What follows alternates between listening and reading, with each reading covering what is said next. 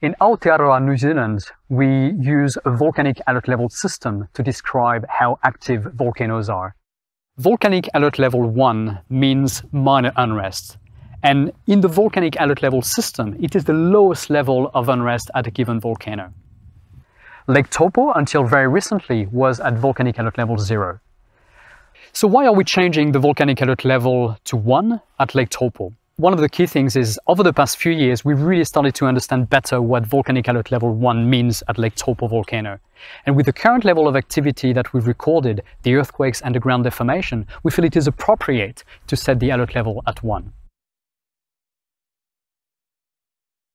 Behind me is Lake Taupo, and when we mention Lake Taupo, people think about very, very large eruptions. There has been some large eruptions, like 30,000 years ago, that created a huge crater now filled with this lake. And then later on, 1800 years ago, another big eruption created another of those calderas inside the, the bigger one. But the reality is that the vast majority of the eruptions at Lake Taupo are actually quite small. Over the last 29 eruptions, only two of them were actually large.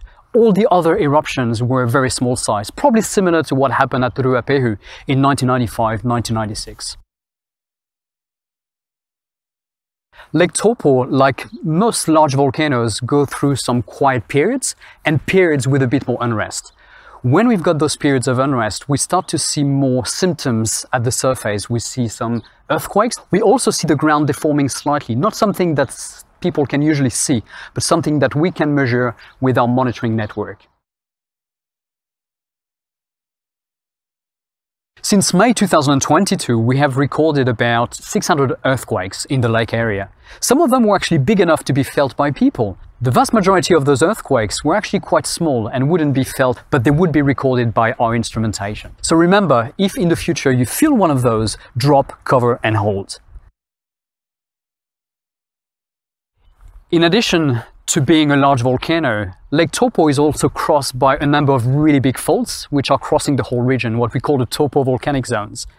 And when we do have earthquakes occurring inside the lake, they are either occurring along some of those faults or they are occurring around the body of magma, those molten rocks that we know exist under the surface at depth since the last eruption.